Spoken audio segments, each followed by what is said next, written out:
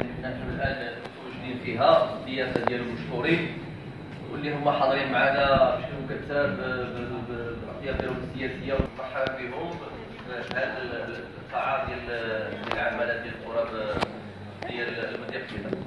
اذا كما قلت هذا حلم وفي نفس الوقت هذا مطلب. مطلب.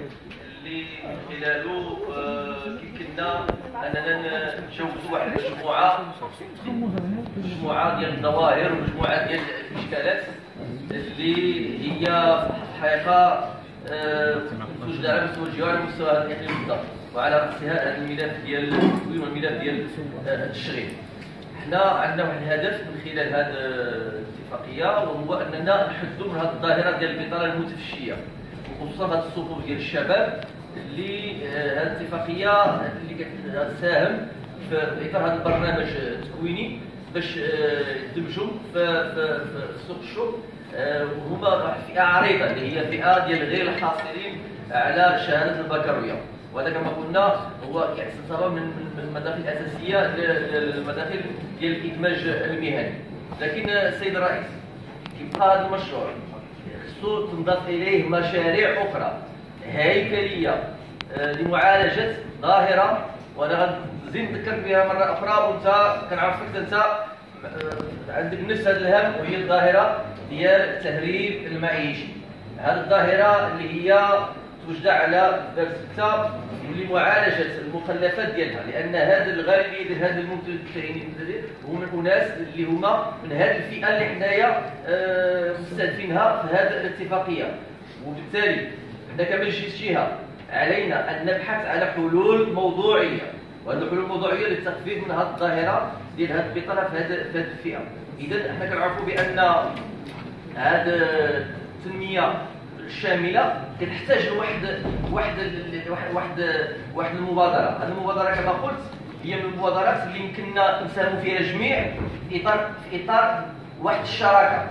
شراكة ما بين الجهه بين جماعة الفنيدق بين عمالات إقليم آه، المدينة الفنيدق وبين وزارة آه، الصناعة ووزارة آه، الاستثمار والاقتصاد الرقمي والتجارة وكذلك مع مع كل الأطراف اللي هي عندها علاقة بمصالح خارجية عندها علاقة بها من أجل كما قلت من أجل إقامة ما مشروع ما يسمى بالمنطقة التجارية الحرة. هذا هو الحلم ديال أبناء هذه المنطقة. هذا المشروع إذا نعرفوا بأن المكان ديالو واجد وهو المكان اللي تخصص له 30 هكتار. في واد الضويات على مقربة من مدينة ستة المحتلة. وهذا المكان الآن حتى في التنصيص ديالو في التصميم ديال التهيئة هذا المكان هو الآن غادي يكون مخصص من هذا المشاريع ذات هذا البعد التجاري. إذا كما قلنا أصلا هو منطقة ممنوع فيها البناء. شنو خصنا نديرو الآن؟ هذا المشروع هذا كما قلت خصو إرادة سياسية خصو جرأة.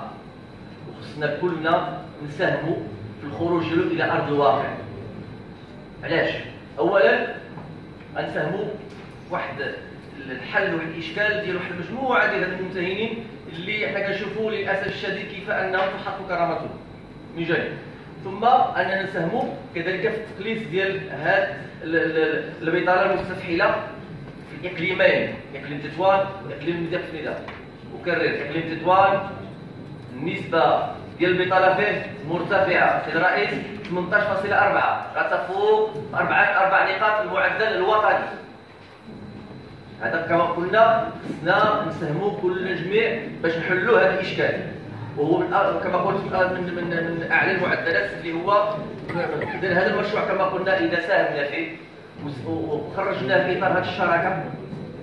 وكنطلبوا من ان هذه الشراكة تخرج في هذا في هذه الولاية هذه ديال هذا المجلس إذا تضافر الجهود وتضافرت الهمم وكما قلنا غادي يكون مشروع فعلا تنموي حقيقي مشروع كيجاوب على مجموعة الانتظارات مجموع كيتماشى مع البرنامج ديال التنمية الجهوية اللي حنا وضعناه وصدقناه وشكرا